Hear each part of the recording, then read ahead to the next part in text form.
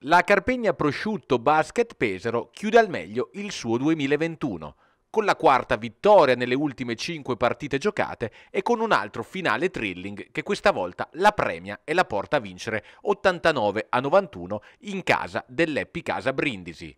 Finale col brivido perché sulla sirena finisce sul ferro la tripla di Perkins che avrebbe significato sorpasso nonché la seconda sconfitta consecutiva all'ultimo secondo.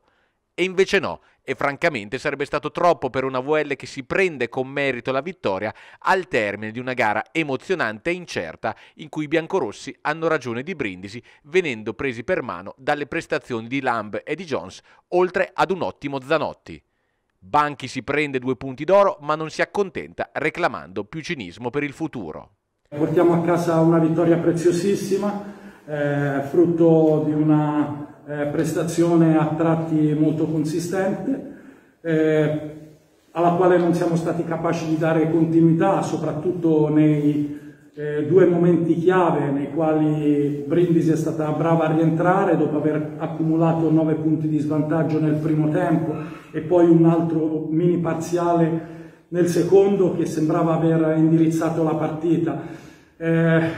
le parti del gioco dove siamo mancati meno, eh, siamo mancati più, scusa, eh, sono sicuramente i rimbalzi dove abbiamo concesso ai nostri avversari troppe seconde opportunità e su quelle sono stati bravi a costruire le loro rimonte. Eh, e poi nel finale a decidere sono stati episodi eh, legati all'eccellente intercetto di Jones sulla loro rimessa,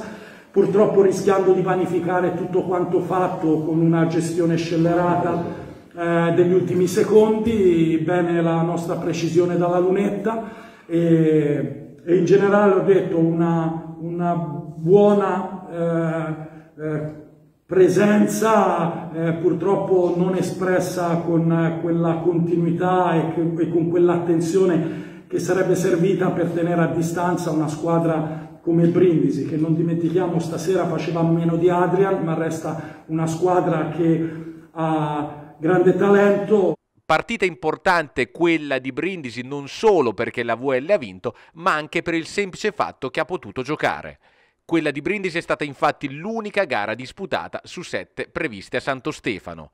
Per il resto i contagi da Covid-19 stanno stravolgendo il calendario ad ogni latitudine, risparmiando in questa occasione solo l'incrocio fra Brindisi e Pesaro e quello fra Treviso e Brescia in campo nel posticipo del 27 gennaio. Covid che ha messo lo zampino pure nel volley, facendo rinviare a data da destinarsi il match inizialmente previsto a Santo Stefano della Megabox che doveva scendere in campo a Roma, ma che ha visto arrivare lo stop per casi di positività fra le capitoline dell'acqua e sapone. Ed è arrivato oggi anche lo stop per l'Ital Service che doveva essere il 28 dicembre in campo a Ciampino contro l'Aniene, ma la gara di campionato è stata rinviata per alcuni casi di Covid-19 emersi nella squadra laziale. L'Ital Service tornerà dunque in campo il 4 gennaio a Eboli in occasione della gara di Supercoppa.